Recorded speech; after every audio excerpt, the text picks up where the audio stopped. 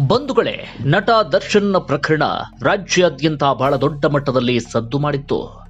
ಈ ಪ್ರಕರಣ ಯಾವ ಹಂತಕ್ಕೆ ಹೋಗಬಹುದು, ಯಾವ ರೂಪವನ್ನು ಪಡಿಬಹುದು ಈ ರೀತಿಯಾಗಿ ರಾಜ್ಯಾದ್ಯಂತ ಬಹಳ ದೊಡ್ಡ ಮಟ್ಟದಲ್ಲಿ ಚರ್ಚೆ ಆಗ್ತಿತ್ತು. ಆದರೆ ಸದ್ಯದ ಪರಿಸ್ಥಿತಿಯನ್ನ ಗಮನಿಸ್ತಾ ಇದ್ರೆ, ದರ್ಶನ್ ಅವರಿಗೆ ಸಂಬಂಧಪಟ್ಟಂತ ಈ ಪ್ರಕರಣ ಕಂಪ್ಲೀಟ್ ಆಗಿ ಹಳ್ಳ ಹಿಡಿದ ಹಾಗೆ ಕಾಣಿಸ್ತಾ ಇದೆ. ಇಲ್ಲಿ ಎರಡು ಪ್ರಕರಣಗಳನ್ನ ನಾವು ಗಮನಿಸಬೇಕಾಗತ್ತೆ. ಮೊದಲು ಇಪ್ಪತ್ತೈದು ಕೋಟಿಗೆ ಸಂಬಂಧಪಟ್ಟ ಹಾಗೆ. ದರ್ಶನ್ ಅವರ ಹೆಸರಲ್ಲಿ ವಂಚನೆಗೆ ಪ್ರಯತ್ನ ಪಟ್ಟಿದ್ರು ಎನ್ನುವಂಥ ಕಾರಣಕ್ಕಾಗಿ ಈ ಪ್ರಕರಣ ಶುರುವಾಗುತ್ತೆ. ಅರುಣಾ ಕುಮಾರಿ ಎನ್ನುವರು ಮಧ್ಯದಲ್ಲಿ ಎಂಟ್ರಿ ಕೊಡ್ತಾರೆ. ದರ್ಶನ್ ಅವರ ಸ್ನೇಹಿತರಾಗಿರುವಂತಹ ಹರ್ಷ ಮೆಲೆಂಟ್ ಅವರ ಹೆಸರು, ರಾಕೇಶ್ ಪಾಪಣ್ಣವರ ಹೆಸರು, ಅದೆಲ್ಲದಕ್ಕಿಂತಲೂ ಕೂಡ ಮಿಗಿಲಾಗಿ ಉಮಾಪತಿ ಶ್ರೀನಿವಾಸ್ ಅವರ ಹೆಸರು ಕೂಡ ಕೇಳಿ ಬರುತ್ತೆ. ಇದೇ ಪ್ರಕರಣಕ್ಕೆ ಸಂಬಂಧಪಟ್ಟ ಹಾಗೆ ಉಮಾಪತಿ ಶ್ರೀನಿವಾಸ್ ಹಾಗೆ ದರ್ಶನ್ ಅವರ ನಡುವೆ ಜಟಾಪಟಿ ನಡೀತಾ ಇರುತ್ತೆ. ಮೇಲ್ನೋಟಕ್ಕೆ ಇಬ್ರು ಕೂಡ ಪರಸ್ಪರರ ಪರವಾಗಿ ಇದ್ದೀವಿ ಎನ್ನುವಂತ ಹೇಳಿಕೆಯನ್ನು ಕೊಡ್ತಾ ಇದ್ರು. ಉಮಾಪತಿ ಹೇಳ್ತಾ ಇದ್ರು, ದರ್ಶನ್ ಸರ್ ಬಗ್ಗೆ ನನಗೆ ಬಹಳ ರೆಸ್ಪೆಕ್ಟ್ ಇದೆ, ಹಾಗೆ ಅಂತ ಹೇಳ್ತಾನೆ. ನನ್ನ ಬಳಿ ಮೂರು ಗುಟ್ಟಿದೆ ಎನ್ನುವಂತ ಒಂದು ಬಾಂಬನ್ನು ಸಿಡಿಸ್ತಾರೆ. ದರ್ಶನ್ ಅವರು ಕೂಡ ಅಷ್ಟೇ, ನಮ್ಮ ನಿರ್ಮಾಪಕರದೇನು ಕೂಡ ತಪ್ಪಿಲ್ಲ ಎನ್ನುವ ರೀತಿಯಲ್ಲೇ ಉಮಾಪತಿ ಶ್ರೀನಿವಾಸ್ ಅವರ ಮೇಲೆ ಅನುಮಾನವನ್ನು ಕೂಡ ವ್ಯಕ್ತಪಡಿಸ್ತಾ ಇರ್ತಾರೆ. ಈ ರೀತಿಯಾಗಿ ಈ ಪ್ರಕರಣ ಸಾಗ್ತಾ ಇರುತ್ತೆ. ಇದರ ನಡುವೆ ಇಂದ್ರಜಿತ್ ಲಂಕೇಶ್ ಇದ್ದಕ್ಕಿದ್ದ ಹಾಗೆ ಎಂಟ್ರಿ ಕೊಟ್ಬಿಡ್ತಾರೆ. ದರ್ಶನ್ ಅವರ ಮೇಲೆ ಸಾಕಷ್ಟು ಆರೋಪಗಳನ್ನು ಮಾಡ್ತಾರೆ. ದರ್ಶನ್ ಅವರು ಹೋಟೆಲ್ ಅಲ್ಲಿ ಹಲ್ಲೆಯನ್ನ ಮಾಡಿದ್ರು.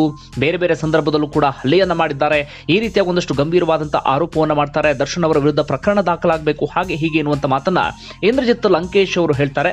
ಅದಕ್ಕೆ ಸಂಬಂಧಪಟ್ಟ ಹಾಗೆ ನನ್ನ ಬಳಿ ಒಂದಷ್ಟು ಸಾಕ್ಷಿ ಇದೆ ಎನ್ನುವಂಥ ಮಾತನ್ನ ಹೇಳ್ತಾರೆ. ಬಟ್ ಯಾವುದೇ ಸಾಕ್ಷಿಯನ್ನ ಕೊಡ್ಲಿಲ್ಲ ಅನ್ನೋದು ಬೇರೆ ಮ್ಯಾಟ್ರು. ಆ ನಂತರ ಪ್ರಕರಣ ಬೇರೆ ಬೇರೆ ರೂಪ, ಬೇರೆ ಬೇರೆ ದಿಕ್ಕು ಎಲ್ಲ ಕಡೆಗಳಲ್ಲೂ ಕೂಡ ಸಾಗೋದಕ್ಕೆ ಶುರುವಾಗುತ್ತೆ. ದರ್ಶನ್ ಅವರು ಮಾತನಾಡಿದ್ದಾರೆ ಎನ್ನಲಾದಂಥ ಒಂದು ಆಡಿಯೋ ರಿಲೀಸ್ ಆಗುತ್ತೆ.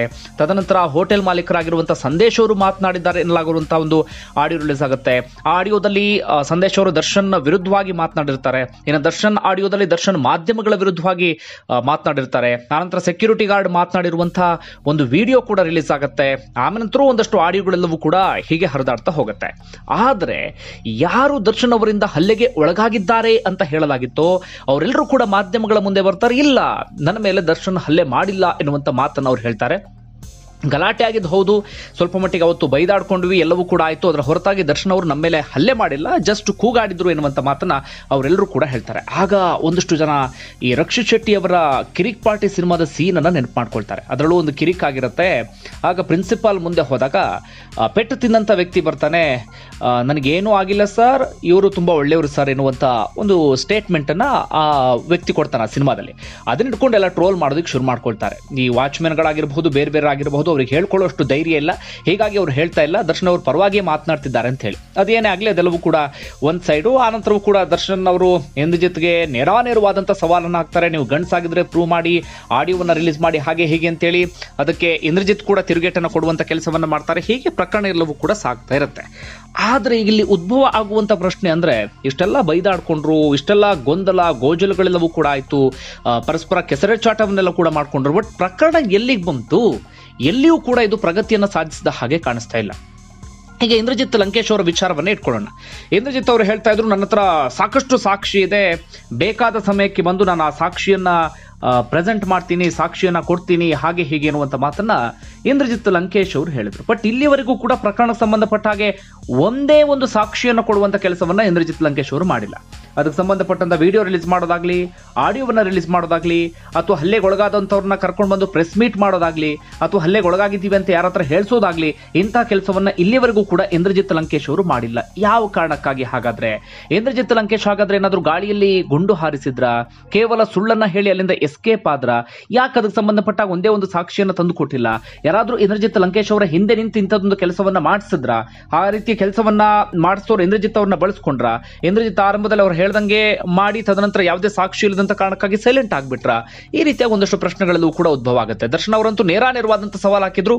ನಿಮ್ಮ ಜೊತೆಗೆ ನಾನು ಮಾತನಾಡಿದಂತ ಒಂದು ಆಡಿಯೋ ಇದೆ. ಆ ಆಡಿಯೋನ ನಿಮಗೆ ತಾಕತ್ತಿದ್ರೆ ನೀವು ಗಣಸೆ ಆಗಿದ್ರೆ ರಿಲೀಸ್ ಮಾಡಿ ಅಂತೇಳಿ. ಯಾಕೆ ಇಂದ್ರಜಿತ್ ಇಲ್ಲಿವರೆಗೂ ಕೂಡ ಆ ಆಡಿಯೋವನ್ನು ರಿಲೀಸ್ ಮಾಡಿಲ್ಲ? ಆ ಆಡಿಯೋವನ್ನ ರಿಲೀಸ್ ಮಾಡಿದ್ರೆ ಅವರದ್ದೇ ಒಂದಷ್ಟು ವಿಚಾರಗಳೇನಾದರೂ ಬಟಾ ಬಯಲಾಗುತ್ತಾ? ಏನು ಎತ್ತ ಅಂತ ಗೊತ್ತಿಲ್ಲ. ಇಂದ್ರಜಿತ್ ಲಂಕೇಶ್ ಮಾತ್ರ ಇಷ್ಟೆಲ್ಲ ಡೆವಲಪ್ಮೆಂಟ್ಸ್ ಆದಮೇಲೆ ದರ್ಶನ್ ಅವರು ಅಷ್ಟೆಲ್ಲ ಸವಾಲನ್ನು ಹಾಕಿದ್ಮೇಲೆ ಇವರು ಕೂಡ ಪ್ರೆಸ್ ಮೀಟ್ಗೆ ಬಂದು ಮಾತನಾಡಿದ್ದು ಬಿಟ್ಟರೆ ಯಾವುದೇ ರೀತಿಯಲ್ಲೂ ಕೂಡ ಈ ಪ್ರಕರಣ ಮಾತ್ರ ಪ್ರಗತಿಯನ್ನು ಸಾಧಿಸಲೇ ಇಲ್ಲ.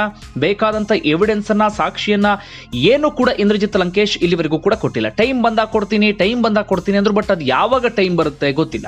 ಈ ಡ್ರಗ್ಸ್ ಪ್ರಕರಣದಲ್ಲೂ ಕೂಡ ಇಂದ್ರಜಿತ್ ಲಂಕೇಶ್ ಅದೇ ಮಾತನ್ನು ಹೇಳ್ತಾ ಇದ್ರು. ನನ್ನ ಹತ್ರ ಸಾಕ್ಷಿ ಇದೆ ಟೈಮ್ ಬಂದಾಗ ಹೇಳ್ತೀನಿ ನನ್ನ ಹತ್ರ ಸಾಕ್ಷಿ ಇದೆ, ಅವ್ರು ಯಾರ್ಯಾರು ಅನ್ನುವಂಥ ಹೆಸರನ್ನ, ಸಮಯ ಬಂದಾಗ ಹೇಳ್ತೀನಿ ಅಂತ ಹೇಳಿ ಬಟ್ ಅಲ್ಲಿ ಯಾವಾಗ ಸಮಯ ಬಂತೇನೋ ಗೊತ್ತಿಲ್ಲ. ಆ ಡ್ರಗ್ಸ್ ಪ್ರಕರಣ ಹಳ್ಳ ಹಿಡಿದು ಹೋಯ್ತು ಬಿಡಿ. ಒಂದಿಬ್ರು ಹೀರೋಯಿನ್ಸ್ ಅರೆಸ್ಟ್ ಮಾಡಿ, ಅವರಿಬ್ರು ಹೆಸರನ್ನು ಹಾಳು ಮಾಡಿದ್ಬಿಟ್ರೆ ಆನಂತರ ಬೇರೆ ಏನು ಡೆವಲಪ್ಮೆಂಟ್ಸ್ ಆಗಲಿಲ್ಲ ಅದರಲ್ಲಿ. ಆನಂತರ ಒಂದಷ್ಟು ಕಡೆ ಡ್ರಗ್ಸ್ ಅನ್ನು ವಶಪಡಿಸ್ಕೊಂಡ್ರು ಬಿಟ್ರೆ ಆ ನಂತರವೂ ಕೂಡ ಡ್ರಗ್ಸ್ ಎಲ್ಲ ಅವ್ಯಾಹತವಾಗಿ ಎಲ್ಲ ಕಡೆಗಳಲ್ಲೂ ಕೂಡ ಸಾಕ್ತಾ ಇದೆ. ದರ್ಶನ್ ಅವ್ರ ಪ್ರಕರಣದಲ್ಲೂ ಕೂಡ ಹಾಗೆ ಆದ ಹಾಗೆ ಕಾಣಿಸ್ತಾ ಇದೆ. ಹಲ್ಲೆಗೊಳಗಾದವ್ರು ಹೇಳ್ತಿದ್ದಾರೆ, ಇಲ್ಲ ನಾವು ಹಲ್ಲೆಗೊಳಗಾಗಿಲ್ಲ ಅಂತ ಹೇಳ್ತಿದ್ದಾರೆ. ನೀನು ಇಂದ್ರಜಿತ್ ಲಂಕೇಶ್ ಮಾತ್ರ ಇಲ್ಲ, ಹಲ್ಲೆ ಮಾಡಿದ್ದಾರೆ ಎನ್ನುವಂತ ಆರೋಪವನ್ನು ಮಾಡ್ತಿದ್ದಾರೆ. ಅದು ಅಲ್ಲಿಗೆ ಎಲ್ಲಿ ಹೋಗ್ತಿದೆ ಅಂತ ಗೊತ್ತಿಲ್ಲ, ಒಟ್ಟಾರೆ ಪ್ರಕರಣ ಹಳ್ಳೆ ಹಿಡಿದ ಹಾಗೆ ಕಾಣಿಸ್ತಾ ಇದೆ. ಯಾವಾಗ ಪ್ರಕರಣ ಸ್ವಲ್ಪ ಸ್ಟ್ರಾಂಗ್ ಆಗುತ್ತೆ ಅಂದ್ರೆ ಈ ಹಲ್ಲೆಗೊಳಗಾದಂಥವ್ರು ದೂರು ಕೊಡಬೇಕಾಗುತ್ತೆ ಬಟ್ ಹಲ್ಲೆಗೊಳಗಾದಂಥವ್ರು ಇಲ್ಲಿವರೆಗೂ ಕೂಡ ದೂರು ಕೊಟ್ಟಿಲ್ಲ. ಅವ್ರ ಪರವಾಗಿ ಯಾರಾದರೂ ಒಂದು ಸ್ಟ್ರಾಂಗ್ ಆಗಿ ದೂರು ಕೊಡಬೇಕಾಗುತ್ತೆ ಬಟ್ ಇಂದ್ರಜಿತ್ ಲಂಕೇಶ್ ದೂರು ಕೊಟ್ಟಿಲ್ಲ, ಕೇವಲ ಗೃಹ ಸಚಿವರಿಗೆ ಒಂದು ಮನವಿ ಪತ್ರವನ್ನು ಸಲ್ಲಿಸಿ ಬಂದಿದ್ಬಿಟ್ರೆ ಅವ್ರು ಯಾವುದೇ ಸ್ಟೇಷನ್ಗೆ ಹೋಗಿ ದೂರು ಕೊಟ್ಟಿಲ್ಲ.